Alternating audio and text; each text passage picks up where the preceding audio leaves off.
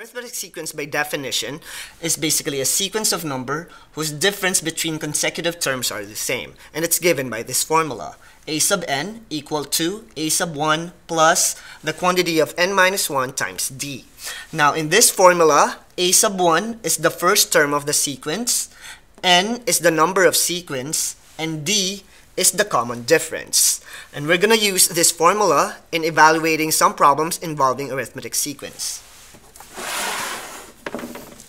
Now for this example, we are going to verify if a given sequence of number or series of number is considered to be an arithmetic sequence. Now for number 1, we have 7, 11, 15, 19, and the sequence or the formula for this sequence is given by 4n plus 3. And to verify if this is an arithmetic sequence, all you need to do is to find its common difference. And common difference is basically the difference between the second term and the first term, and the third term to the second term, and so on. So let's verify if this sequence is an arithmetic sequence. So we have 7 and 11, so 11 minus 7 will give us 4.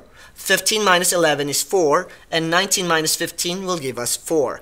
Now, if you'll notice, we have the same result for our differences. So that means we have a common difference. So if we have a common difference in a sequence of number, that means this is is an arithmetic sequence.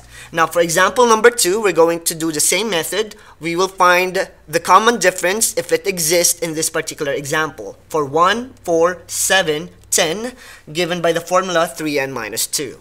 Now 4 minus 1 is 3, 7 minus 4 is 3, and 10 minus 7 is also 3. So they have common differences, so that means this is an arithmetic sequence. So the series of numbers that you are seeing here is included in this particular sequence of numbers that's considered to be arithmetic.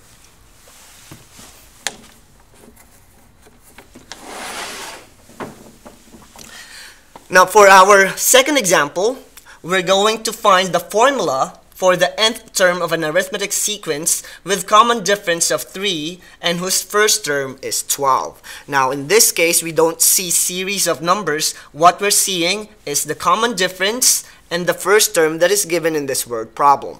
Now we know that this is an arithmetic sequence, so we're going to prepare ourselves to use the formula in finding or solving this problem.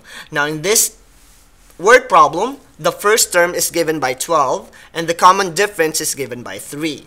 Now by straight substitution, if we plug in the value of a1 to your formula which is 12 and d which is your common difference of 3 and simplify your function, you'll be able to find the nth term or the formula for this particular arithmetic sequence. So we have a sub n equal to 12 plus distribute 3 to n minus 1 and you'll have 3n minus 3. And, by further simplifying your expression, a sub n is equal to 3n plus 9. So therefore, to answer the question, we found that the formula for the arithmetic sequence whose common difference is 3 and the first term is 12 is 3n plus 9.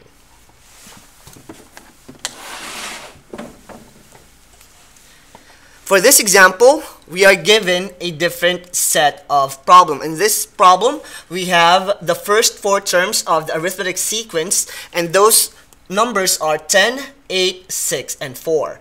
And what we need to do is to find the 23rd term of the sequence. So if this is our series of numbers 10, 8, 6, and 4, which is the first four term of the sequence, we are supposed to find the 23rd term, and 23rd term is probably going to be somewhere here, or maybe even farther. So to find that number, what we need is to find the variables that we need to use in the formula. So for this first, first four term, we can find a sub 1, which is the first term, and we can also find the common difference if it exists. So the first term here is 10, and we will use that later on in our formula. And the common difference is just to get subtract 8 to 10, 6 to 8, 4 to 6. And you will notice that we have the same differences, which is negative 2. Therefore, our first term is 10, and our common difference is negative 2.